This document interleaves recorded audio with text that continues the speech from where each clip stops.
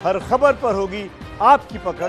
Download कीजिए ABP live app आठ बजकर तेरह मिनट हो रहे हैं। क्या दिल्ली के बाज़ार बंद होंगे? दिल्ली में बढ़ते कोरोना मरीजों को देखते हुए व्यापारी संगठन बड़ा फैसला ले सकते हैं। Confederation of all India traders ने बाज़ार बंद करने को लेकर व्यापारियों के बीच एक सर्वे किया, जिसके नतीजे चौंकाने वाले हैं। हमारी संवाददाता इला काजवी ने ट्रेडर्स संगठन के महामंत्री प्रवीण खंडेलवाल से खास बातचीत की।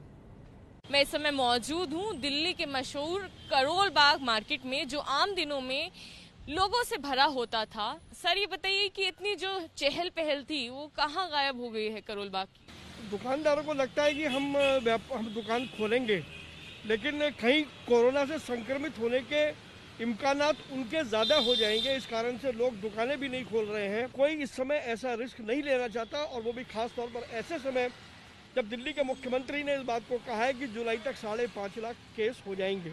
यहाँ पर कुछ ऐसा फैसला है कि अल्टरनेटिव डेज़ पे खोलेंगे या ऑड इवन के आधार पर खोलेंगे क्या चर्चा चल रही है? देखिए हमने ये कोरोना के इस संकट को देखते हुए हमने एक ऑनलाइन सर्वे व्यापारियों के बीच में किया है।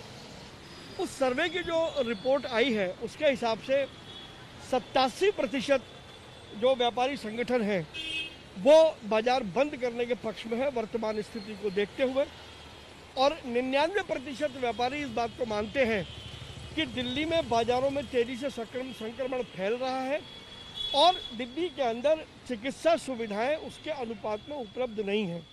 दिल्ली के प्रमुख व्यापारिक संगठन इस बात का निर्णय लेंगे कि दिल्ली के बाजारों को बंद किया जाए या बाजारों में कोई और व्यवस्था लागू की जाए। क्यों है एबीपी लाइव न्यूज़ लवर्स का फेवरेट वर्क डेडलाइंस में भी stay updated always so smart कि ये करे सिर्फ़ ब्लू टिक वाली न्यूज़ पिक जस्ट लाइक घर जैसा कंफर्ट है बेस्ट वैसे ही अपनी लैंग्वेज में न्यूज़ की फील है late any time food delivery के टाइम पर मिलिए अपने फेवरेट एंकर से किसी भी टाइम एबीपी लाइव ऐप के साथ रहो सबसे आगे। Download now